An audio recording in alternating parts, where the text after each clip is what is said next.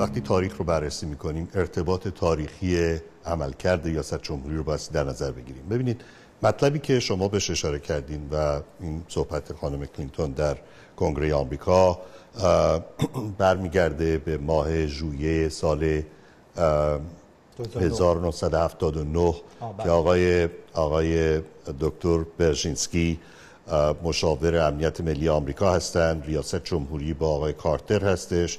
آقای برژینسکی با آقای کارتر پیشنهاد می‌کنن که یک طرح بسیار فوق العاده دارن به اسم کمربند سبز دور پرده آهنین و مبنای اصلی این این هستش که آقای برژینسکی به افغانستان برن به, به مجاهدین افغان که بعدا تبدیل به طالبان شدن ایشون تشویقشون بکنن که برن و مملکتشو از دست بی خدایان در بیارن.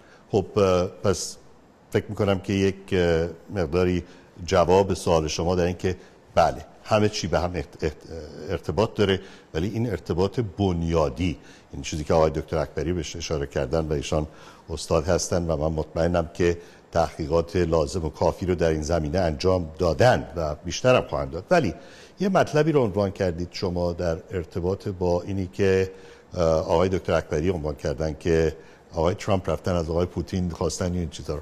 ببینید آقای ترامپ آقای پوتین هرگز همدیگر ندیدن و با همدیگه ارتباطی هم ندارن. بنابراین من صحبت های آقای ترامپ رو نمی‌خوام راجبش صحبت بکنم یا تایید کنم یا دفاع بکنم. ولی من یه اشکال می‌بینم در صحبت آقای دکتر اکبری و اینکه ایشان گفتن در تاریخ سابقه نداشته.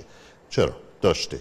در روز دوازدهم ماه مارچ سال 2012 در مذاکره صحبتی که شاید تصادفی این اتفاق افتاده و قرار نبوده که ما بشنویم این رو. شاید آقای با آقای مدودیف آقای اوباما با آقای مدودیف گفتن که ببین شما باید متوجه بشید که من در حال انتخابات هستم و معذورات انتخاباتی دارم. اینه که بعد از انتخابات حالا دقیقا هر لغت رو یادم نیست ولی بعد از انتخابات من بسیار منعطفتر خواهم بود. آقای مدودیف در جواب با آقای اوباما میگن که بله من آهان آقای اوباما میگن که از آقای پوتین بخواین که یه کمی به من یه جاده بده به من یه راهی بده که من از این مخمسه انتخاباتی بتونم بیام بیرون. بعدا حتما منعطفتر خواهم بود. ببینید آقای مدودیف اونجا چی میگه؟ میگه که بله بله من پیام شما رو شنیدم و حتما این پیام شما رو به ولادیمیر حتما خواهم رساند.